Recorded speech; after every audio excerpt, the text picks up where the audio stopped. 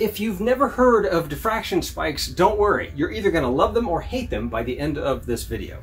I'm going to start out by showing you this picture. It's the first Hubble Deep Field image. They've done this a few times since 1995, but this is the very first one. This picture is the product of 342 separate long exposures that were done over a 10-day period. Again, this is in the end of 1995. They pointed the Hubble Space Telescope towards a seemingly empty, tiny little spot in the sky just above the Big Dipper. That means it was pointed away from the very busy heart of the Milky Way galaxy. The idea being to point it towards a spot in the sky that looked pretty empty visually. Needless to say, this picture blew everybody away because almost everything you see in this picture is a galaxy. In fact, they counted roughly 3,000 galaxies in this tiny little spot in the sky. Now the area that they looked is so small that it represents only 1 24 millionth of the total area of that sphere that, that we can see all around the Earth. It represents basically the sky. So 3,000 galaxies times 24 million is uh, a whole lot of galaxies. But there are a few stars in this picture. And how do we know that? Well, because of diffraction spikes. You can see them here, here, here, uh, and here. There, there, might be a few more, but that's most of them. Uh, everything else that you see in this picture, though, is a galaxy. Diffraction spikes are very common in astronomy photos. In fact, they're so common that we expect to see them. If you ask anybody, including little kids, to draw a star, they're going to show it with spikes coming out of it. Here's what you need to know. Obviously, the spikes are not real. Our own sun does not have spikes. They are strictly an observational anomaly. So why do they keep showing up in pictures taken with the telescope? The answer is that they don't always show up because it depends on the type of telescope that you're using. Here, let me show you. No, seriously, come along. This is the front end of my 8-inch Dobsonian telescope. Now, the Hubble Space Telescope's secondary mirror is supported by four arms, uh, just like my secondary mirror is supported by four thin support arms.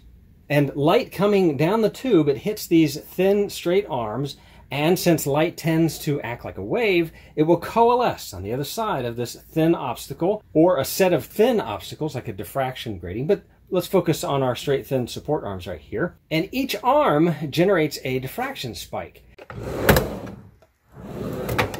All right, so there's a lot of confusion about how the diffraction spikes are laid out relative to the support arm. So let's talk about the most simple type of telescope, we're just going to have a simple refractor. It's got a big lens, and there is a star in the middle of it. This is the configuration. It's pointed at a star. What will you see? Well, you're just going to see a dot. The, simple enough, right? There's no obstructions, there's no support arms, there's nothing. So this is the layout, a big lens, and you're going to see a dot in the middle when you look through the telescope. But let's make it a little bit more complicated. Let's add a secondary mirror. Let's move over to something like a Schmidt-Cassegrain or a Maksutov Cassegrain. We've got a secondary mirror just floating in the middle. What are you going to see? Well, you're still going to see a dot. Now, you might see a little bit of fuzz around it, just depending on the quality of your telescope.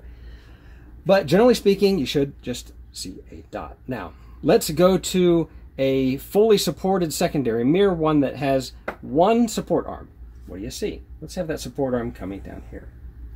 So the way this works is that visibly diffraction spikes come out perpendicular from the support arm. So you have it vertical here, so the diffraction spike is going to be a very light diffraction spike coming out like that, both sides. And that's because even though it's only got a support arm on one side, the way that it works optically is it is symmetric. Now let's say we put another support arm up here. Well, we're still going to have diffraction spikes coming out like that. So they're going to double up and we're going to get a stronger diffraction spike like that. Now let's go ahead and add a third support arm. But in this case, the diffraction spikes will be vertical. So we're going to have a light set of diffraction spikes that way. Now let's go full uh, Hubble or full Dobsonian. We've got the four supports, and that just makes the diffraction spikes all a little more intense.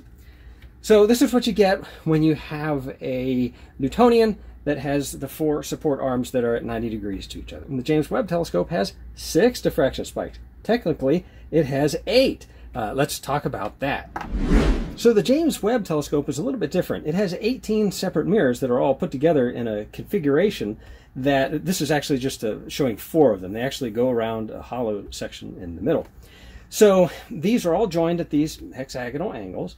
As it turns out, these angles are the driving force on the diffraction spikes for the James Webb. So what might you get? Well, you'll get a vertical spike, you'll get um, spike like that, and this is my best artist rendition, something like that.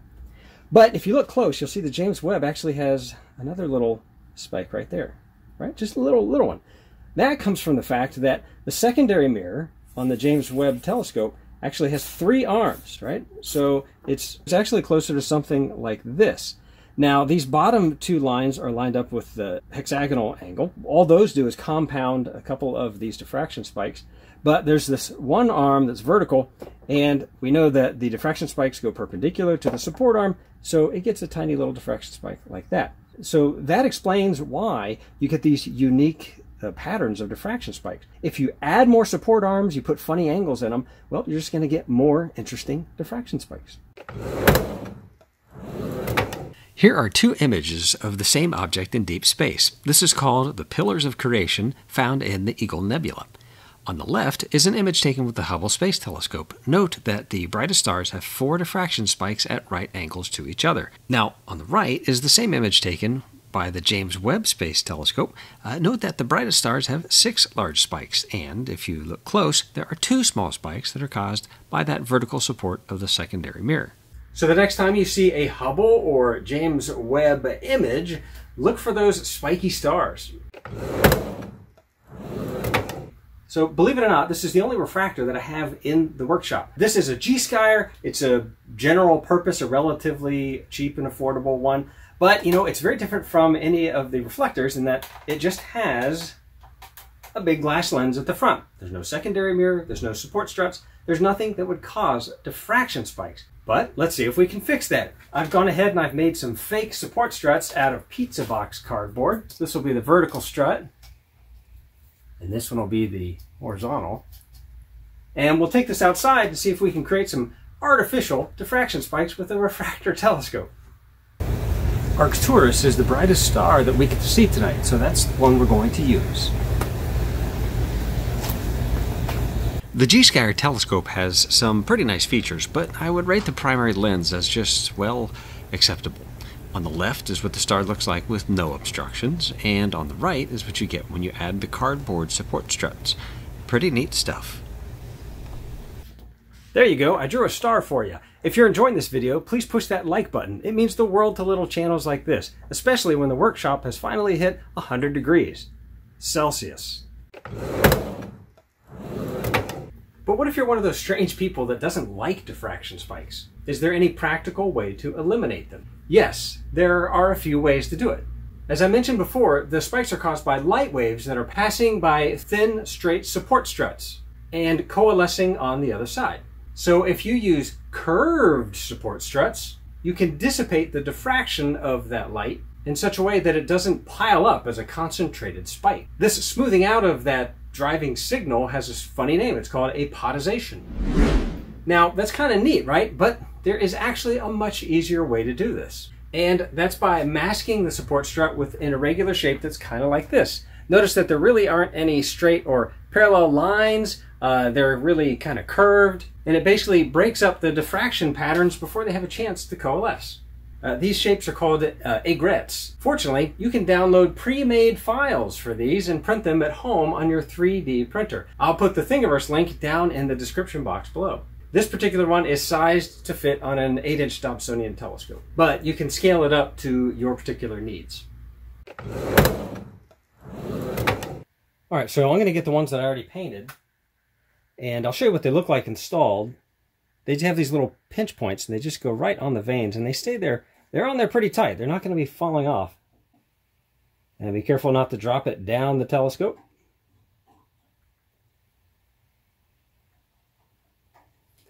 A couple of notes. Uh, there's a question about where, where they go on this vane. Now, my guess is that you basically want them to start at what would be the area that is obstructed by the secondary mirror, so at the edge of that. Now, keep in mind that the primary mirror is not as wide as this hole typically. There's usually a, a gap of between a half an inch or one inch around there. So center these between the edge of the secondary mirror's shadow and the edge of your primary mirror. Now, we're going to take this outside and test it, and we'll put these in one at a time to see what happens to the diffraction spikes. Okay, here we go. This is what the star looks like with four bare supports. That means I don't have any of those batwing masks on them. Uh, let's go ahead and add one of the batwing masks. Okay, so that didn't do too much, uh, but it did diminish the horizontal spike just slightly, maybe. Let's add another bat wing on the opposite side. This should mask one entire spike. All right, now let's go ahead and add a third mask. Uh, okay, so it diminished the intensity a little bit. And after we add the fourth mask, uh, the spikes simply vanish. Uh, let's go ahead and bring back the original unmasked image. That's pretty darn cool. It's almost like magic. Astrophotographers take advantage of these diffraction spikes all the time to ensure that they have sharp focus. In fact, diffraction spikes are the whole reason behind why the Bahtinov masks work. They use these on the front of their telescopes. This is what you typically see when adjusting your focus knob when you have a Bahtinov mask mounted on the front of your telescope. You just keep turning the knob back and forth until that central diffraction spike bisects the X just perfectly. Then you remove the Bahtinov mask, and from that point on, you'll have perfect focus. If you're curious, I have an entire video dedicated to the history of these and how they work. Leave a message down below let me know whether you love or hate the diffraction spikes that you see on the starry images. Thanks for watching, everybody, and clear skies.